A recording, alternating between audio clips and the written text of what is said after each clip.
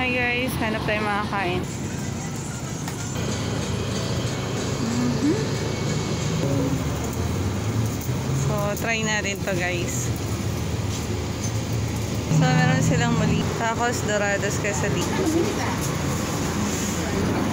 Yeah, they're like street tacos. And then, Vampiros like a tostada, like a crunchy. okay, maybe I'll get one queso tacos and one vampiros. Tapos, Vampiros sa queso tacos. Ayun siya guys. Sarap na. Guys, look. Guys, lulutuin na. So guys, meron sila ditong empanada. So ito na guys. So yun guys. Uh, sobrang init guys. Nyo naman. So yan na guys. Nandito na kami. Sarap tulo ah. Man Say hello ka muna. Ay, oh, kain. Tanghali. Pag gutom na kami. Ano? Bagong style nila. ah. Ito niluto pa nila talaga yun. Tagal sa kawali nila yun. Parang yun niya. Ay, hindi. Seven dollars. Ano? Tagalawin ko na to. Ito yung kanyang chipotle. Tulog pa rin si baby. Ayan. Na kumakain.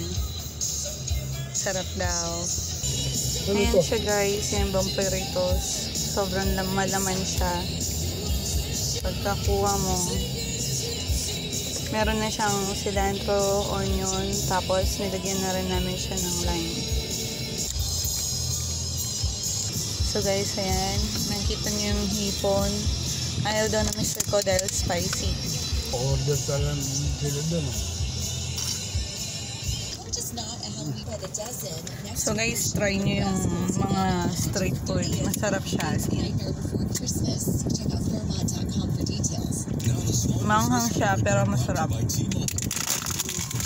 business advantage. Being an effective leader has always been a staple for good business. But in this new normal, it's on the path to success. Your So, busin ko lang pa. Parang kulang na eh. stay ready to lead by example So, mag mga magkano ka? Mm. Practices. As a successful leader, will positively impact Mukhang kulang the performance and results of your small business. Itong vampiritos nila, masarap siya kasi toasted yung ano niya. That's why we're introducing Microsoft 365 on us, now mm-hmm. included in our best business plans.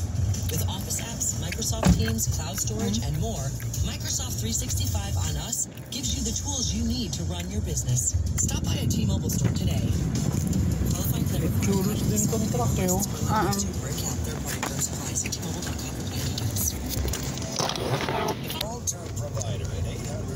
So yun guys, uwi na kami. Thank you for watching. Please like and subscribe. Bye!